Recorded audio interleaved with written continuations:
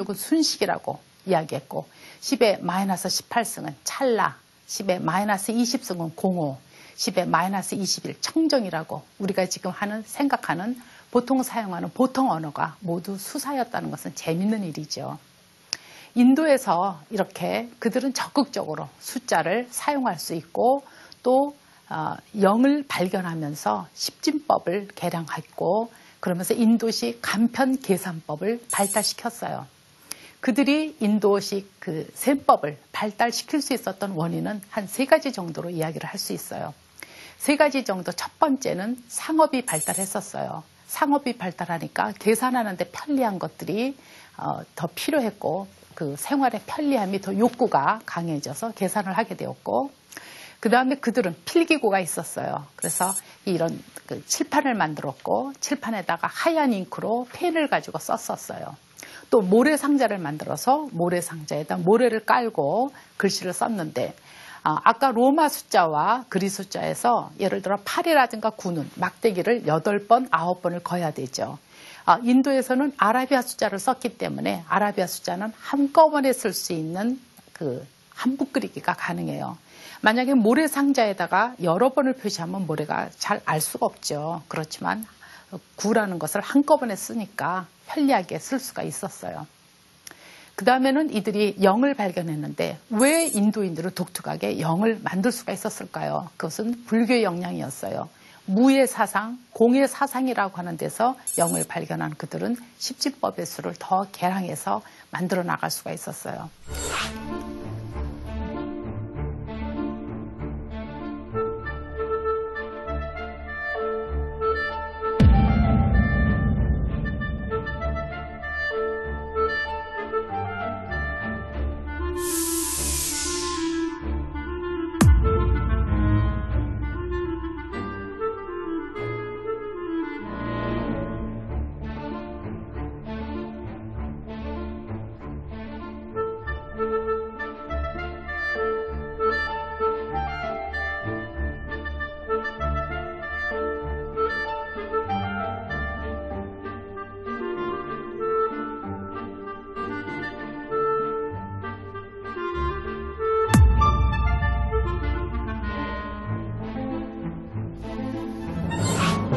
만약에 0이 없었다면 어떻게 되었을까요? 지금은 너무 편리하게 당연한 것으로 사용하는 0.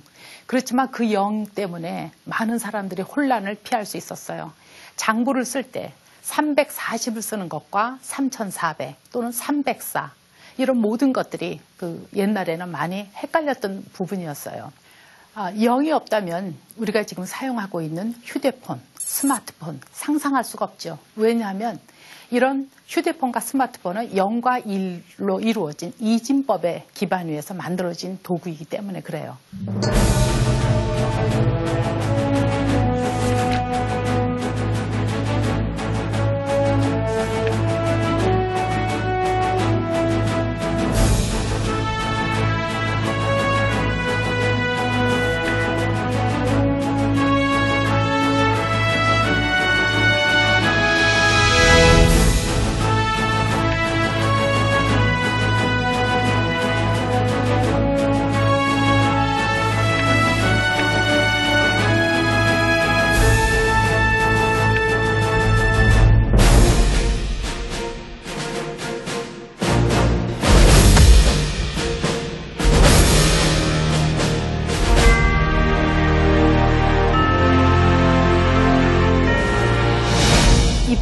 중국의 수학으로 한번 넘어갑시다.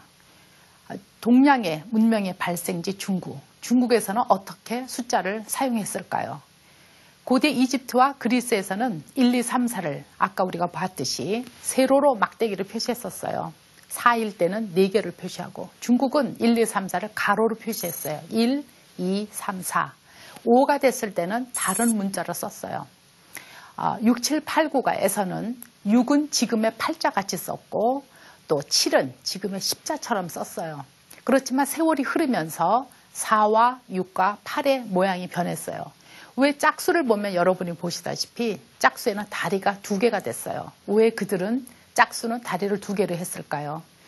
아, 음양 사상에 의해서 홀수는 어, 양이라고 생각을 했고 짝수는 의미라고 생각을 했었어요. 그들은 만약에 중국에서는 우리가 343을 생각합시다. 343을 한자로 쓰면 343이라고 써요.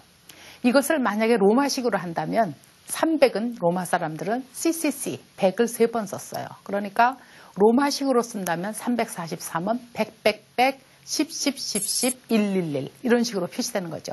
근데 중국인들은 343을 3 곱하기 100 더하기 10 곱하기 4 더하기 3 이런 식으로 덧셈과 곱셈을 잘 융합해서 그들은 수사를 표시했어요.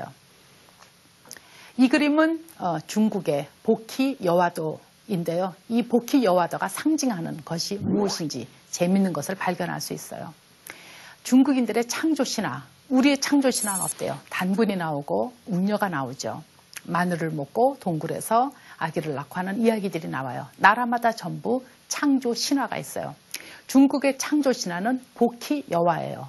복희는 어, 수염을 기른 남자로 표시가 되고 여화는 입술 연지를 바른 여자로 묘사가 됐어요. 7세기경에 그려진 그 창조 신화에 대한 그림인데 아, 재밌는 사실은 복희는 직각자를 들고 있어요. 여화는 컴퍼스를 들고 있어요. 그것은 무엇이냐? 중국인들이 그 나라의 창조 신화에 직각자와 컴파스가 있다는 것은 우주를 수학적으로 설계되었다고 생각했던 그들의 사고방식을 알 수 있어요. 중국인도 무척 수학적인 민족이었어요. 중국인 특별히 다른 민족들이 하지 못했던 음수를 발견한 사람들이었어요. 음수가 없다면 지금 우리의 생활은 어떨까요? 날마다 예보되는 일기예보. 일기예보에서는 영하 3도일 때 마이너스 3이라고 표현을 하죠. 아, 날마다 오르내리는 주식 시세 올라갈 때는 플러스 내려갈 때는 마이너스죠. 또 장부에서 기록하는 경영에서 꼭 필요하고 우리 가계부를 쓸 때나 금전출납부 마이너스라고 하는 것은 굉장히 필요하고 없어서는 안 되는 편리한 도구이죠. 그것을 중국인들이 특별히 만들어낼 수 있었어요. 왜 그랬을까요? 중국인들은 오래전부터 음양 사상이 있었어요. 그 음양 철학에 의해서 음수를 자연스럽게 만들어냈어요. 중국의 가장 오래된 수학책은 구장산술인데 유휘라고 하는 수학자가 그 책을 집대성했는데 그 책에는 자연스럽게 음수에 대한 설명이 나와요. 음수라는 것을 유럽 사람들이 생각할 때는 굉장히 그 좀 놀라운 생각이고 획기적인 생각이었어요. 3에서 5를 뺀다면 어떻게 될까요? 3 빼기 5라는 것은